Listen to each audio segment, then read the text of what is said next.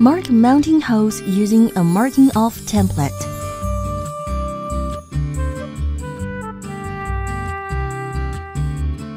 Secure the mounting bracket.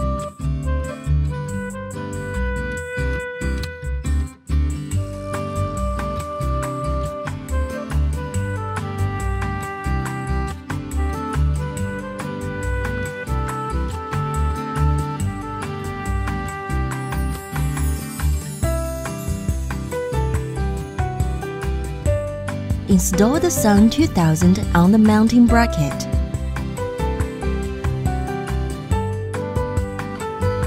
Tighten the two nuts at the bottom of the Sun 2000.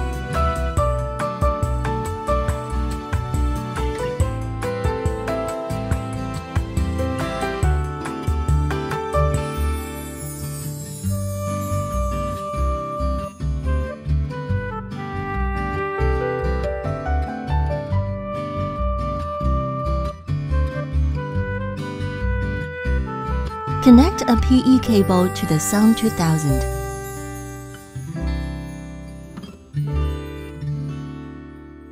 Prepare an AC output power cable for the Sun 2000.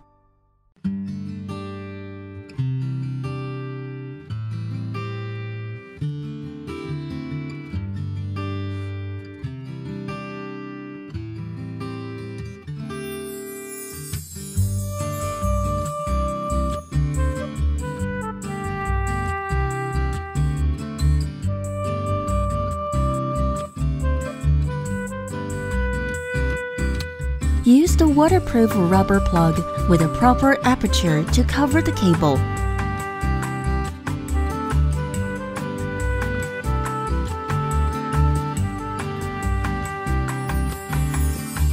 Connect the core wires of the AC power cable to the AC connector.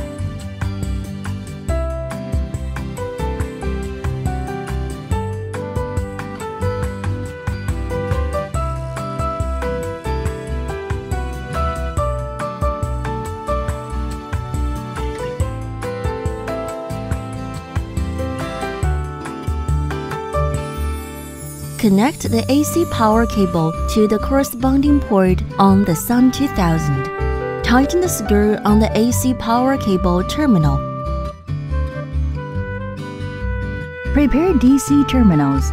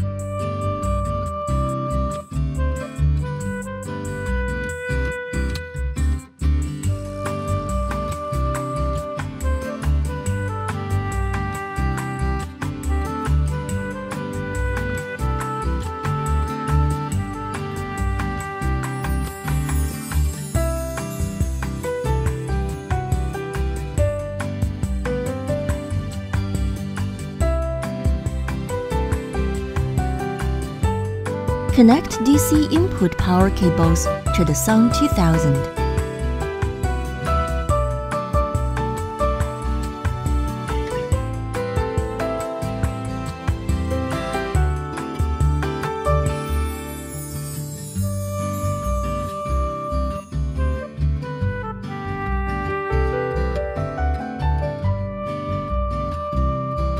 Prepare a communications cable for the Sun 2000.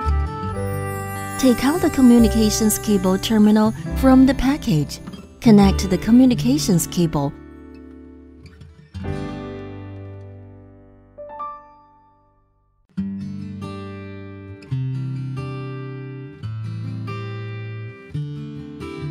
The Sun 2000 provides two RS485 communications ports for cascading multiple inverters or connecting to the smart logger.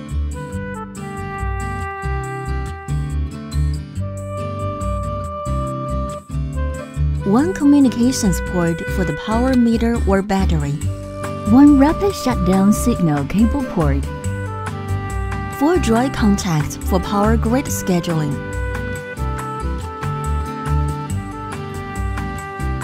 Signal cables sharing a port should be crimped together in a cord end terminal before being inserted into the port.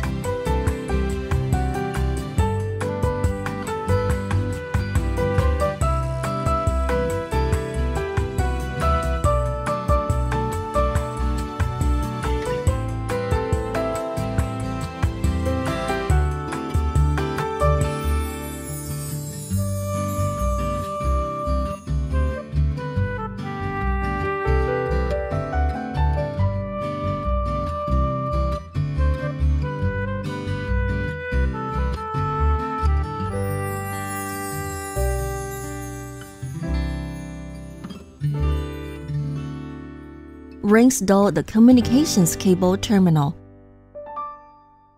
The waterproof rubber plug is used with the waterproof block to seal the redundant space between the cable and the terminal.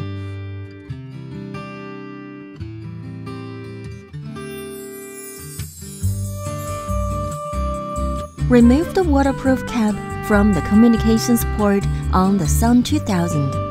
Connect the communications cable on the Sun 2000. Install a smart dongle